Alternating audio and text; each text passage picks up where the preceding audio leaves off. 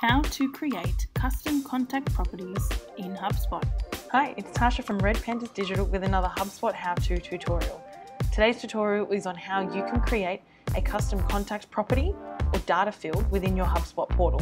Super quick, super easy, one I get asked all the time, so hopefully this helps. All right, once you're in your HubSpot portal here, you can navigate up to the cog. This is your settings. Now navigate down to the Properties tab here on the left menu underneath Settings. So this is where you will create your new contact properties, company properties and deal properties.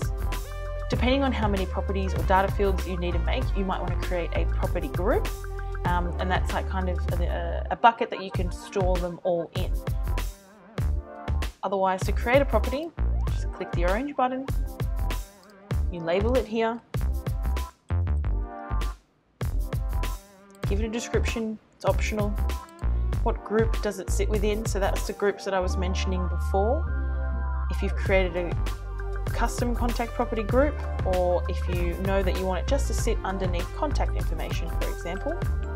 And then this is what field type you'd like it to be.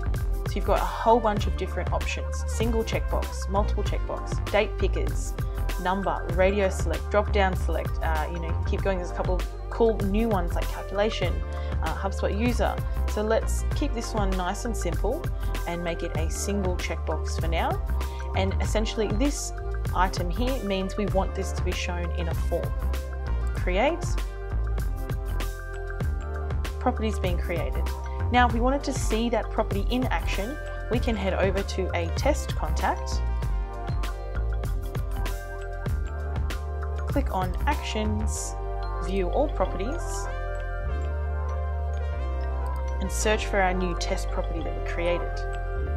Now, if I wanted to add it to the About card because it's something that my team are going to be needing to know and use frequently, I can do that as well. I can see it down here, maybe bring it up a little bit higher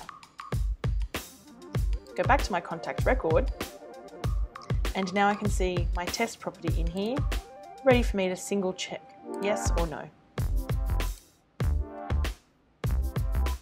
Now that I've got this custom data field, I can use it in workflows, list building, email sends, customization tokens. Uh, the opportunities are truly endless within your HubSpot portal as to where you can now use this custom contact property. If you ever needed to review, update or change that contact property, you'd be navigating straight back to your settings. Once you're in your settings, you'll be able to head back down to properties and you can search for your property that you've created. Now we can edit, clone or delete Let's just click into it to see a little bit more info. So as your custom contact properties start to collect data, you'll see them here. You'll see what lists they're being used in. Um, you can change the contact property. You can assign it to a different group. I've always kind of err on the side of caution when making these changes. Um, you know, just have a backup or lists, static lists maybe of the data that you're about to change, just to be on the safe side so you don't go and overwrite or uh, delete anything by accident. Otherwise, that's how you create a custom contact property in HubSpot.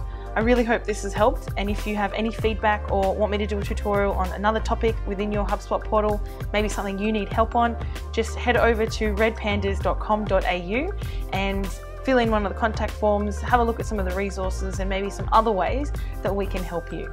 Looking forward to seeing you next time. Thanks.